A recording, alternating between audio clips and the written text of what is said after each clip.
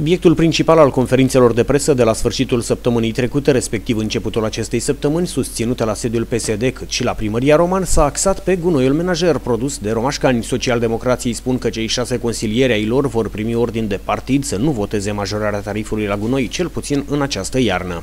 Privitor la al doilea subiect, au fost nenumărate discuții în ultimile săptămâni privitor la necesitatea unei creșteri a prețului la gunoi, creștere dată de necesitatea transportării gunoiului la, adică acoperirii costului transportării gunoiului la groapa de la Giru. Ținând cont de situația actuală din oraș. În urma unei analize foarte aprofundate făcută la nivelul conducerii partidului la nivel județean, s-a stabilit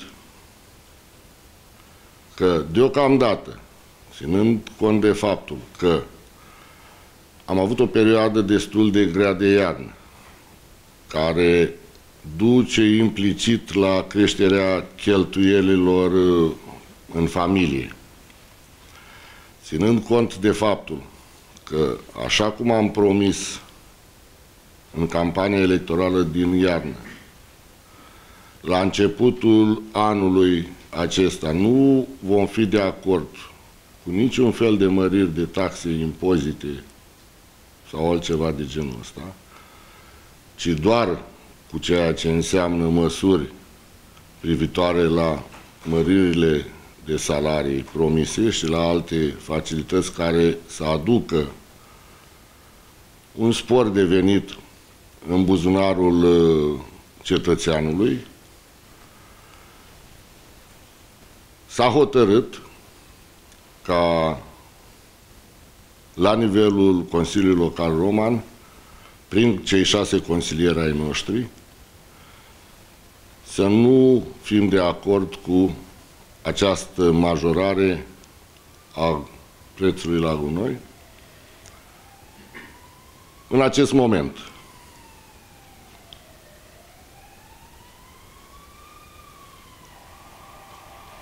Din acest uh, motiv uh, vom avea uh, o ședință cu consilierii noștri care vor fi nevoiți și obligați să respecte decizia partidului la nivel de județean și totodată obligați să respecte decizia la nivel național și promisiunea făcută către cetățeni în campania din iarnă. Repet, pentru toată lumea, Vom face tot ce depinde de noi la toate nivelele, central, județean, local, să ne respectăm promisiunile făcute. Primarul Lucian Micu a ținut să atragă atenția că la mijloc e vorba de o imensă ipocrizie și că majorarea tarifului de gunoi trebuie făcută pentru a se respecta conținutul a două acte normative, o hotărâre de guvern și una de Consiliu Județean, ambele ținând de tarife impuse pentru colectarea și transportul gunoiului menajer la groapa ecologică de la Girov, taxe de 44,92 de lei pe tonă și respectiv 80 de lei pe tonă anul acesta și 120 de anul viitor. Realizându-se o analiză de impact, se ajunge la concluzia concluzia că tariful de transport ce va fi suportat de fiecare romașcan va fi de doar 60 de bani lunar. Primarul Lucian Micu a tras atenția asupra ipocriziei celor din PSD, la cărui conducere s-au aflat socialdemocrații care de trei ani de la finalizarea proiectului de management a deșeurilor nu au fost în stare să definitiveze licitațiile selectarea unui operator care să se ocupe de stațiile transfer de la Cordun, ce urmează a prelua gunoaiele din Roman și din zonă. În acest timp, utilajele se degradează din cauza nefolosirii și gunoiul nu poate fi reciclat. Edilul șef atrage atenția senatorului Manuliu referitor la adevărul proverbului românesc Dacă tăceai, filosof rămâneai, amintindu-i politicianului că a fost vicepreședinte al Consiliului Județean, calitate în care ar fi trebuit să se ocupe de rezolvarea acestei probleme. Primăria Roman s-a gândit în primul rând la cetățenii municipiului Roman și a încercat să facă economii pentru cetățenii municipiului Roman și pentru aceasta domnul senator ne-a certat. Dar, uh, mă rog, este opinia dumnealui. Practic, uh, înțeleg că ei au o problemă cu aceste taxe și noi avem o problemă cu aceste taxe, doar că aceste taxe sunt impuse de două organisme care sunt deasupra municipiului Roman. Mm, una este Consiliul Județean, așa cum vă spuneam, cu acea taxă de 44,92 de lei, votată inclusiv de domnul senator, votată de toți consilierii județeni și o taxă impusă și cealaltă e o taxă impusă prin lege. Și nu putem comenta prea mult vis-a-vis -vis de acestea. Adică dacă ne gândim să nu luăm în considerare o hotărâre de Consiliul Local, Județean și o ordonanță de urgență, eu cred că nu e în regulă. În momentul de față, acestea sunt în vigoare și trebuie respectate. Am uh, făcut toate eforturile astfel încât uh, romașcanii să beneficieze de tarife cât mai reduse pentru această activitate de colectare și de transport al deșeurilor și în continuare intenția noastră este aceea de a găsi soluții și pe mai departe de a nu majora aceste tarife. De aceea voi face un uh, apel la domnul deputat Leoreanu care să interpeleze în Parlament atât pe prim-ministru Grindeanu cât și pe ministrul mediului fie cu privire la prorogarea termenului privind introducerea acestei taxe de 80 de lei pe tonă, fie pentru regândirea acestui uh, sistem, acestui ordona, acestei ordonanțe de urgență, astfel încât să impactul pentru cetățenii municipiului Roman să fie cât mai redus. Senatorul Dan Manuliu a atras atenția asupra faptului că de mai bine de un an și jumătate edilii romașcani preferă să depoziteze gunoaiele menajere într-un depozit neconform, refuzând sistematic să le transporte la groapa de la Girov, timp în care serviciul de salubritate înființat de Consiliul Județean pentru gestionarea temporară a gropei de la Girov a mers în pierdere. Senatorul susține că va exista o mare problemă cu anihilarea depozitului temporar care nu va mai putea fi făcută prin acoperirea cu pământ și vegetație ca în cazul primei gropi, din cauza faptului că nu mai permite acest lucru legislația europeană de mediu. Pe de altă parte, gunoaiele de acolo, după atâta timp, s-au macerat și nu vor mai putea fi sortate, lucru care va crea o mare problemă edililor. Primarul Romanului susține că nu este vina primăriei că nu s-a organizat licitația pentru găsirea unui operator care să gestioneze depozitul de la Cordun de selectare a deșeurilor. Deci s-a preferat în anii trecuți, deși uh, depozitul de la Giro funcționează cel puțin de un an și jumătate. Ne-am întâlnit împreună în momentul când l-am dat în funcțiune. Noi am cerut încă din acel moment să se transporte deșeurile la Girov. S-a evitat acest lucru și s-a folosit depozit intermediar de la Roman, tocmai pentru că se făceau niște economii. Era, cred că, oportun din vremea aceea să ceară un, uh, o creștere a prețului pe transport. Uh, dacă s-ar fi transportat așa cum era normal de la vremea respectivă, inclusiv serviciul de salubrizare a județului, care noi l-am înființat destul de multă zbatere, tocmai pentru a ușura și a debloca situația uh, gunoaielor, ca să spun așa, în județ, ar fi reușit să se autofinanțeze, ar fi reușit să aibă un plus și poate chiar să micșoreze prețul uh, care este și așa mic, pentru că e fără uh, redevența către uh, Consiliul Județean, prețul pe tona dusă la, la Giro. Din păcate, acest serviciu a mers în pierdere aproape un an de zile. S-a folosit motivul că această groapă de gunoi de la Roman avea aviz de funcționare până la sfârșitul anului trecut Și atunci s-au depus, sau mă rog, până la februarie, când, mă rog, nu știu exact, și atunci s-a preferat depunerea gunoiului.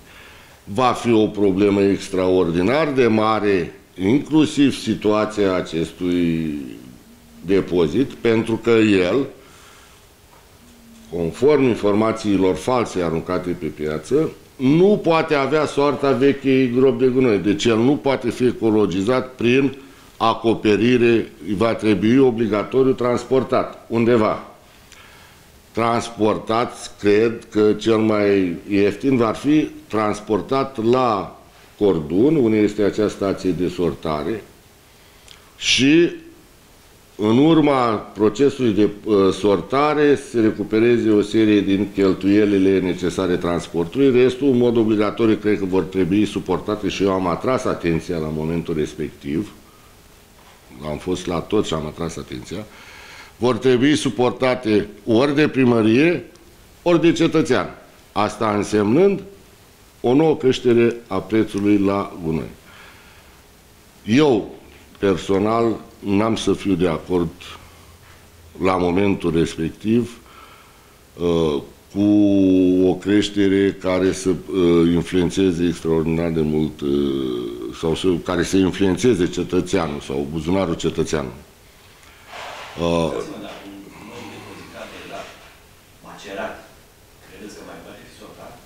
E Păi eu, tocmai asta e, e problema mare care nu e ținută ascunsă și eu am spus-o încă de la alegerile din vară și înainte de alegerile din vară. Nimeni n-a ascultat, nimeni n-a dat atunci importanță.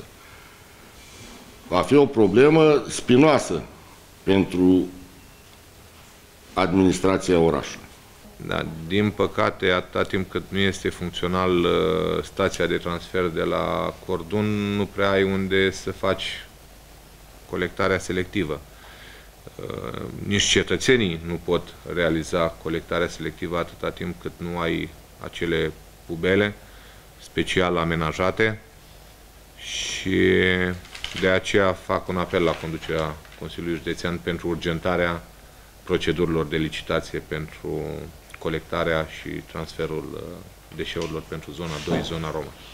Ultima ajustare de tarif, dacă mi-aduc eu bine aminte, s-a făcut, cred că în anul 2014, atunci când uh, salariul era 750 de lei, salariul minim pe economie, de la 1 februarie va fi 1450 de lei.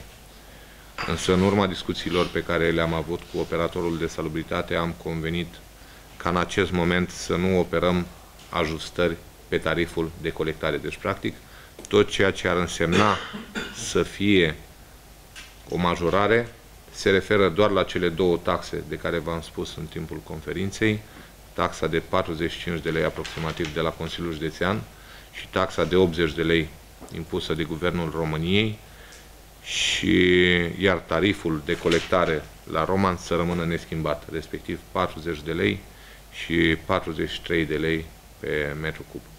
Da, deci e foarte important în primul rând, v-am spus, dacă pot face eforturi și ei alături de noi să nu mai plătim la Consiliul Județean acea taxă de 45 de lei și să nu mai plătim la Guvernul României acea taxă de 80 de lei. Noi nu ne dorim sub nicio formă creșterea tarifului la colectarea deșeurilor menajere. V-am spus și am răspuns și mai devreme, tarifele pentru colectare rămân neschimbate.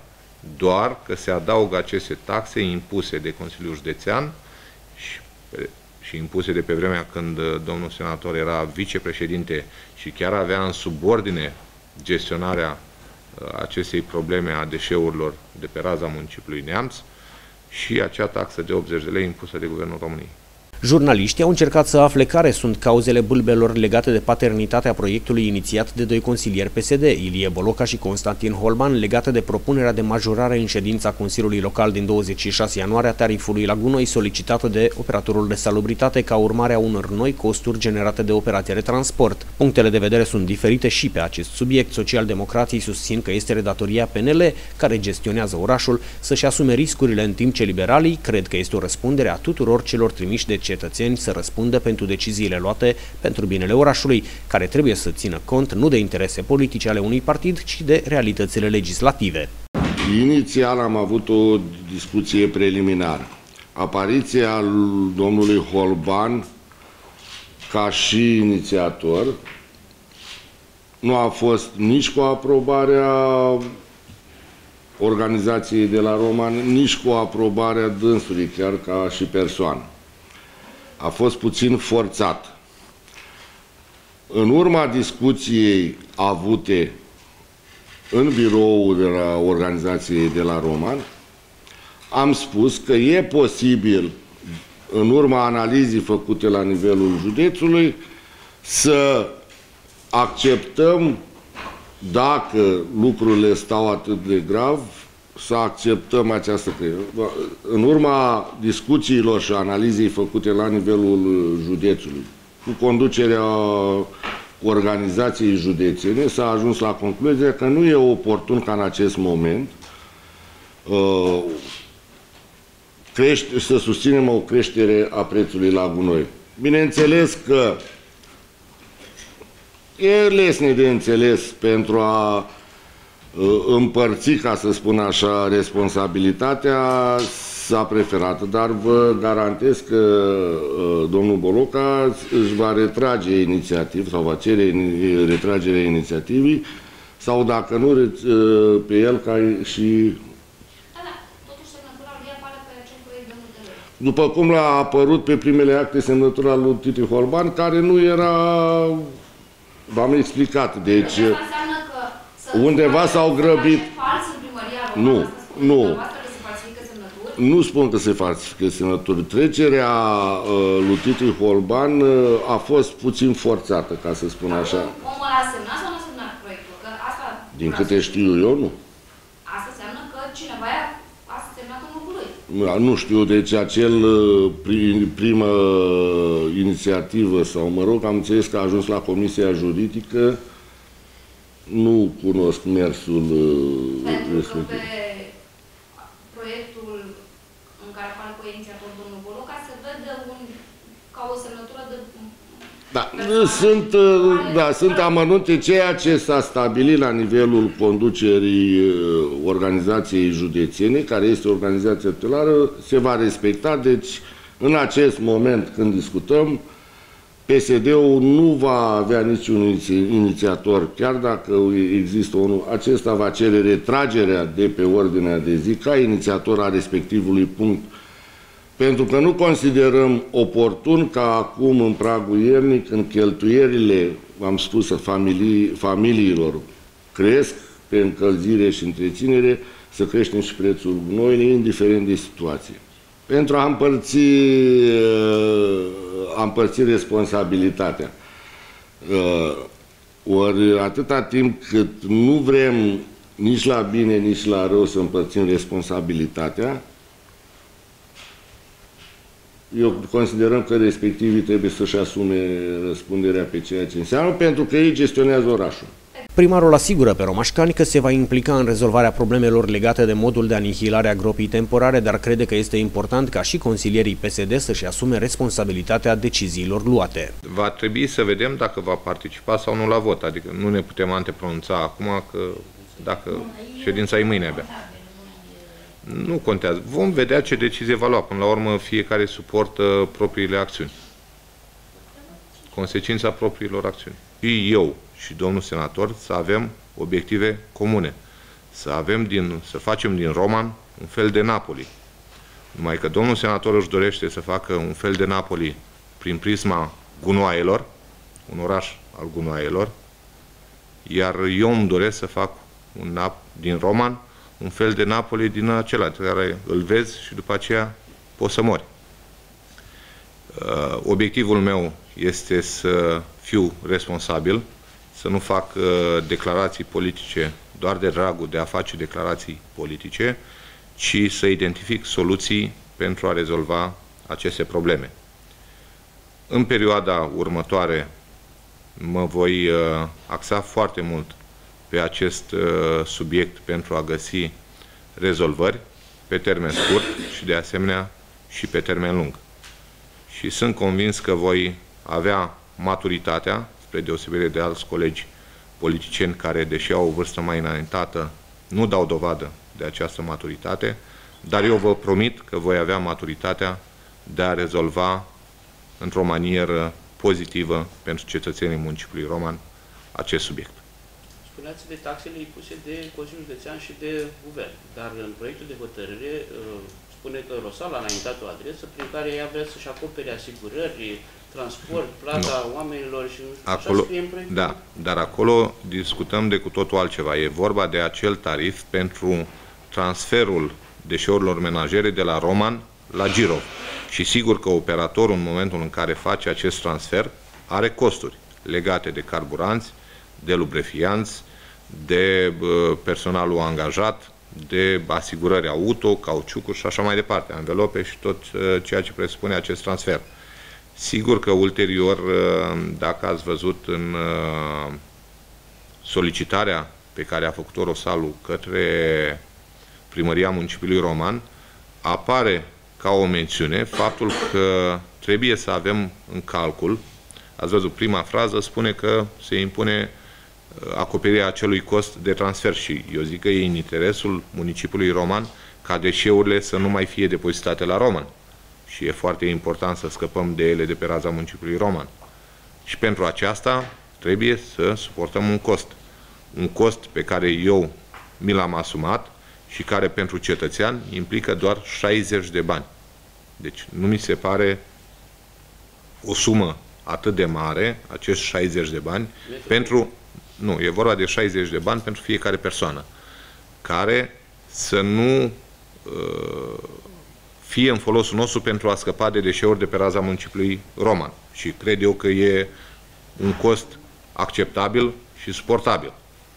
Însă mai departe, taxele celelalte care sunt impuse nu țin de primăria municipiului Roman și de aceea în al, doua, în al doilea paragraf al solicitării Rosalui vine tocmai cu această precizare în care ne indică faptul că trebuie să avem în considerare și în vedere faptul că trebuie să plătim și acele taxe suplimentare.